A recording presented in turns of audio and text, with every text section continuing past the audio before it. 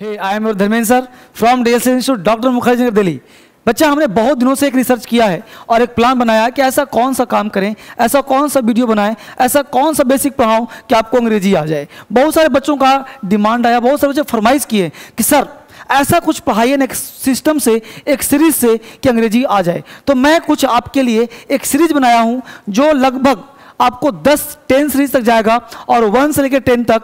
तो हम लोग आज से बनाएँगे और ये हर अल्टरनेट डे या हर डेली आपको मिलता रहेगा।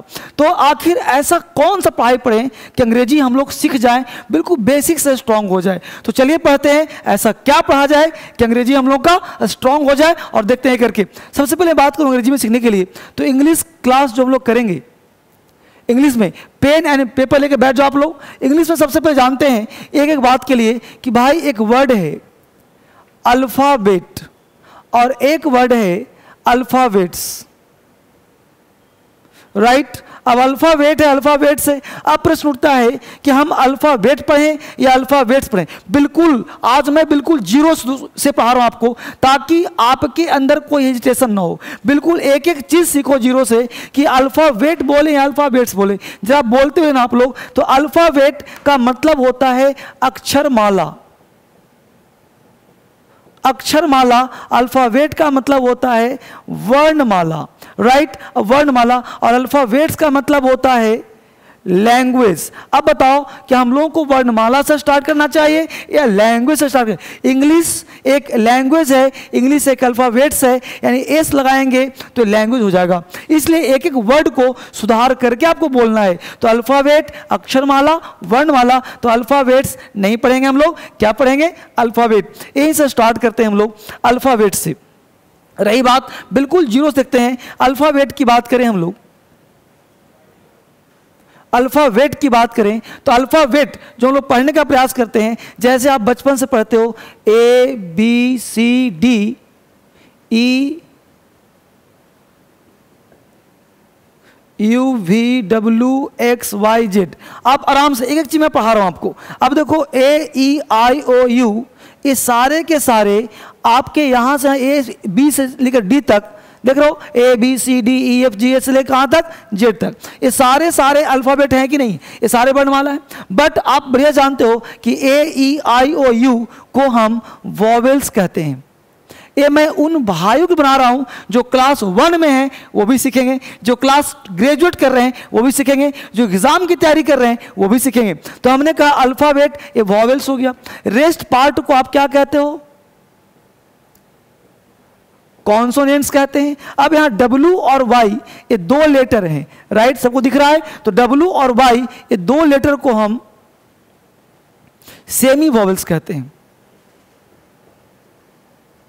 सेमी वॉवेल्स कहते हैं। अब तीन टर्म हम लोग को जानना है। Vowels consonant and semi vowel अब मैं आपसे जानना चाहता हूँ कि वॉवेल्स कॉन्सोनेंट्स एंड सही वॉवेल इन में अंतर क्या है? तो आप कहो, सर, ए आई वॉवेल है रेस्ट कॉन्सोनेंट है, या आपका सही वॉवेल है। मैं पूछ रहा हूँ, क्या? वो समझना आप। मैं पूछ रहा हूँ कि वॉवेल्स क्यों पढ़ते हो? ये वॉवेल्स आप क्यों पढ़ना चाहते हो? ये कॉन्सोनेंट क्या होता है, क्यों पढ़ते हो? ये सही वॉवेल क्यों पढ़ा जाए? तो आपने बचपन से, आप भी कहते हो वॉवेल पाँच। बचपन से रट्टा मारे हुए हैं। आप अपने छोटे भाई को पढ़ाओगे, कहोगे वॉवेल पाँच होता है। आप अपने बेटे को पढ़ाओगे वॉवेल पाँच होता है। बट आपने कभी पूछा क्या? अगर वही छोटा बच्चा आपसे पूछ लिया कि, अंकल, पापा, ये वॉवेल पाँच क्यों पढ़ा रहे हो? इसका काम क्या है? क्या आपके लाइफ में वॉवेल का कोई यूज़ हुआ है? नहीं ना। कभी आपने गुड लिखा हो, कभी आपने गुड लिखा हो, क्या आपने सोचा है क्या कि इसमें दो वॉवेल होता है? नहीं ना। क्या आपने सोचा क्या कि जी कॉन्सोनेंट है? नहीं ना। तो आपने कभी विचार नहीं किया कि जी कॉन्सोनेंट है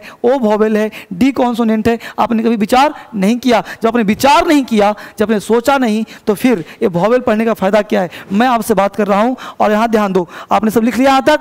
अब यहाँ पर लिख लिया ना आगे बढ़ते हैं। अब मैं बात करूँ कि वॉवेल्स किस लिए बना है? तो वॉवेल बना है आर्टिकल एन के लिए। यानी कि आर्टिकल अगर ए और एन नहीं होता तो फिर हम लोग वॉवेल कॉन्सोनेंट पढ़ते ही नहीं। क्यों भाई? आप जब छोटे बच्चे थे, अपने दादाजी, अपने पापा, अपने मोहल्ले से पूछो, वहाँ पे क्या कहा होगा कि भाई वॉवेल के पहले एन लगाना। बोलो, ऐसा पढ़ा था, नहीं पढ़ा था? पढ़ा था ना? यानी कि एन कहाँ लगाना? वॉवेल्स के पहले। लेकिन क्या ये कॉन्सेप्ट आज के डेट में सही है? बोलो, नहीं ना? क्यों भाई? क्योंकि वॉवेल वॉवेल्स के पहले हम आर्टिकल एन नहीं लगाते। यहाँ पे कॉन्सेप्ट गड़बड़ हो गया। तो लोगों ने कहा कि आ आ, ई ई के पहले एन लगाना यह भी गलत हो गया। अब हम लोग को पढ़ना पड़ेगा साउंड यानी कि ये वॉवेल है क्या चीज़? ये क्यों बना है? इसका साउंड क्या है? उसकी मैं बात करता हूँ। तो सबसे पहले हेडिंग बनाइए आप लोग साउंड और साउंड में देखते हैं और फिर पढ़ते हैं कि आखिर इंग्लिश की शुरुआत कैसे किया जाए, क्या पढ़ें कि अंग्रेज़ी आ जाए, इसको देखते हैं। तो हमने क्या कहा? साउंड बस बने रहो आराम से धीरे धीरे और एक एक बच्चे को पढ़ाओ। आप पढ़ने का मतलब हर भारत को सिखाइए, हर लोग को सिखाइए। साउंड की बात मैं कर रहा हूँ आपके साथ। फटाफट देखिए। साउंड की बात कर रहा हूँ। यहाँ पे हमने बनाया साउंड। इसे कहते हैं वोकल कॉर्ड ये आपके टीथ हैं। ये आपके टंग हैं।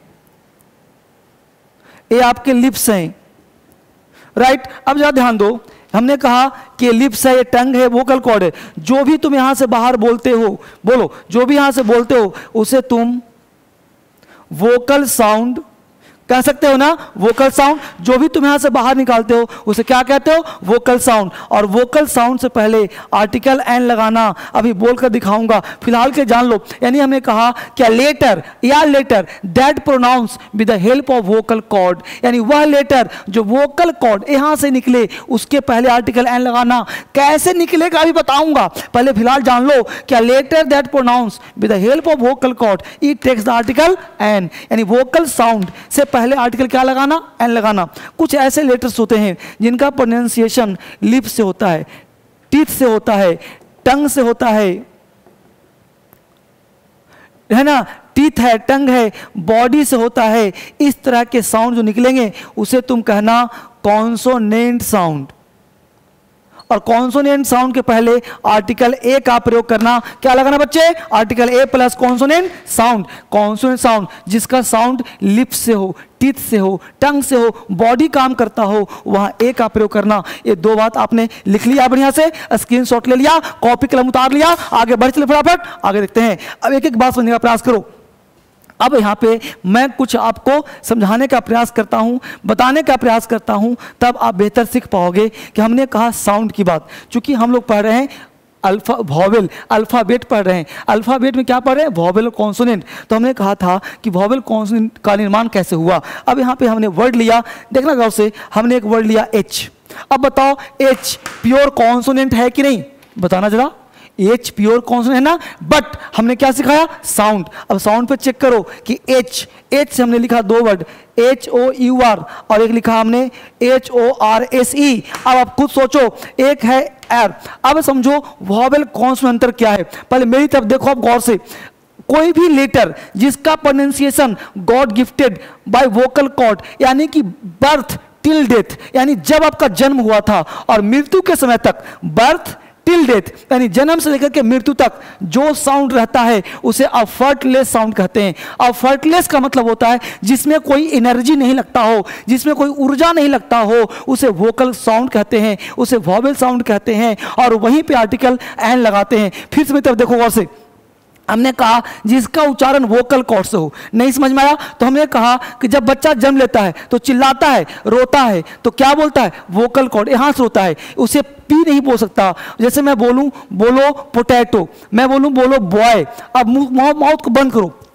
अब बोलो बॉय माउथ खोल के, अब नहीं ना, अब माउथ खोलो। हाँ बोलो बॉय नहीं हो सकता? यानी बॉय बोलने क्या चाहिए? लिफ्ट चाहिए। बॉय बॉय फ़ैन है ना? यानी कि लिप्स ज़रूरत पड़ रहा है। अगर लिप्स जिसके पास नहीं होगा, क्या बॉय बोल पाएगा वो? बिना लिप्स का बॉय बोल पाएगा? मैं बोलूँ, टोमेटो टोमेटो। अब अंदर फिल करो। बोल करके मेरे साथ बोलो ना। Tomato tomato. अब बोलो, आपके टिप ऑफ़ द टंग ऊपर पैलेट से, तालू से टच नहीं कर रहा?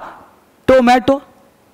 टोमेटो टोमेटो टच कर रहा है ना? तो ये टोमेटो वर्ड टच कर रहा है। इसका मतलब बॉडी काम कर रहा है ना? इसे हम लोग वॉवेल साउंड नहीं कहेंगे। इसे कहेंगे कॉन्सोनेंट साउंड ये कैसा है? बॉडी काम कर रहा है। तो कुछ ऐसे साउंड हैं जो अफर्टलेस होते हैं। और अफर्टलेस हो तो वहाँ एन लगेगा। जिसमें अफर्ट लग जाए, जिसमें एनर्जी लग जाए, वहाँ पे साउंड ए वहाँ पे एनर्जी लग जाए, वहाँ पे ए लगाते हैं। कैसे? अब देखो H O U R R mouth खोलो। आर आर तो पढ़ेंगे पूरा। साउंड पहले वाला। अब इसको बोलते हो, हार हार हार नहीं बोलते ना? क्या बोलते हैं? एन आर तो एन क्यों लगाया भाई? क्योंकि आर आवर आवर आ। माउथ खोल के बोल रहे हैं ना? तो क्या लगेगा वहाँ? एन लगाएँगे।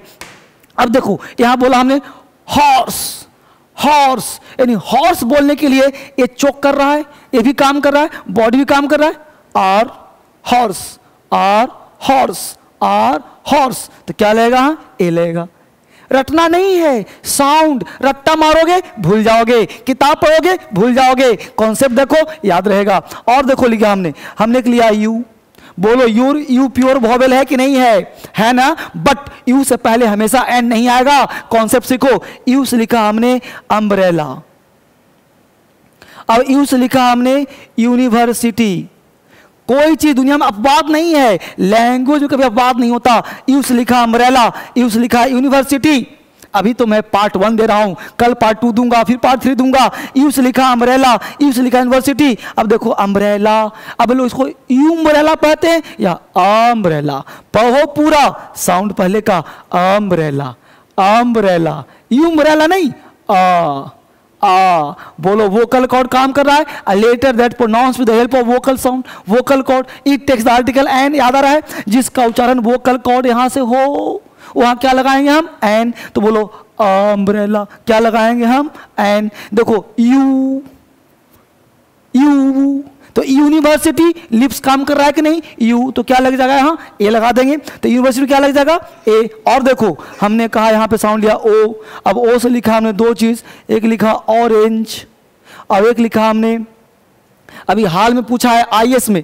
वन आइड मैन यहाँ लिखा हमने ऑरेंज ऑरेंज ऑरेंज क्या लगाएँगे यहाँ? एन यहाँ लिखो वन वन तो यहाँ क्या लगाएँगे? ए, आप सीख पा रहे हो? और देखो, ई ई देखो प्योर वॉवेल है कि नहीं है? मैं आपकी बात काट नहीं रहा। मैं सिखाना चाहता हूँ कि आर्टिकल ए एन के चलते बना वॉवेल कॉन्सोनेंट क्योंकि हिंदुस्तान के ग्रामेरियन ने क्या बनाया? वॉवेल इसलिए बनाया कि आर्टिकल एन लगा सको। अभी साइंटिफिक अप्रोच दूँगा आपको। अब देखो ई अब ई से क्या लिखा? एलिफेंट ई से क्या लिखा? यूरोपियन अब यहाँ पे एलिफेंट है। एलिफेंट, क्या लगाएँगे?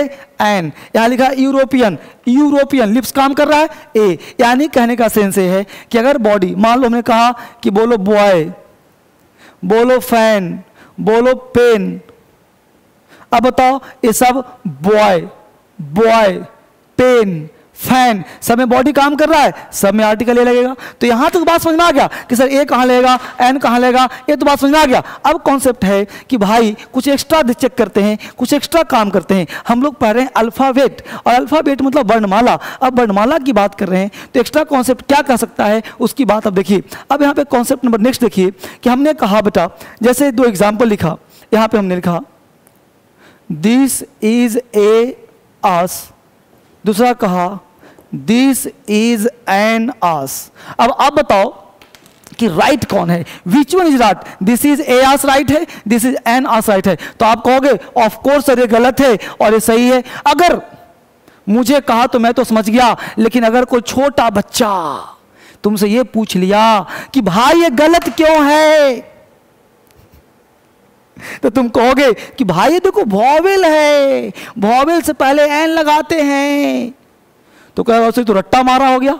चाहे मैं पढ़ाऊं, चाहे कोई और पढ़ाए। तो साइंटिफिक अप्रोच आपने क्लास नाइन्थ में पढ़ा होगा कि जब कोई ओवर ब्रिज पुल पर साइंस सिखा रहा हूँ, जब कोई पुल पर व्यक्ति समान गति से चलता है तो उसे कहता, उसे माना कहता है कि आप एक कदम से कदम मिलाकर न चलें। फिर से बात, जब कोई पुल पर कोई व्यक्ति जाता है, जब कोई आदमी गुजरता है एक आदमी नहीं, हज़ारों लोग, चाहे आर्मीज पुलिसमैन गुजरता है तो समान गति से चलने के लिए मना किया जाता है, क्योंकि अनुनाद का कोई फ्रीक्वेंसी निकलता है, आप बेहतर जानते होंगे, पढ़ते होंगे तो तो उस पुल को टूटने का डर होता है, अगर एक समान गति से चला जाए तो। तो कहा था कि भाई, आप आराम से चलिए, ऐसा आपने पढ़ा होगा, सीखा होगा। खैर नहीं अब यहाँ पे ध्यान दो कि उसी प्रकार, अगर साउंड ए साउंड क्या हो गया? ए का साउंड उच्चारण कहाँ से? वोकल कॉर्ड से? आ यहाँ भी देखो आ कहा है वोकल साउंड तो vocal sound vocal sound always wrong होता है। एक बार डबल वोकल कभी नहीं होता, क्योंकि डबल वोकल से ये वोकल कॉर्ड में प्रॉब्लम होता है। अगर जो व्यक्ति गाँव में, आपके मोहल्ले में, आपके आसपास जो ज़्यादा चिल्लाएगा ना, उसका गला बैठ जाएगा, क्योंकि ये वोकल है, इसको ज़्यादा यूज़ करोगे तो बैठ जाएगा। बैठने का मतलब फंस जाएगा प्रॉब्लम हो जाएगा, बीमारी हो जाएगी, फंस जाएगा, बोल नहीं पाओगे आवाज़ में प्रॉब्लम होगा। और यू गेटिंग माई पॉइंट तो हमने कहा vocal sound plus vocal sound wrong अब देखो ए क्या है? वोकल साउंड ए क्या है?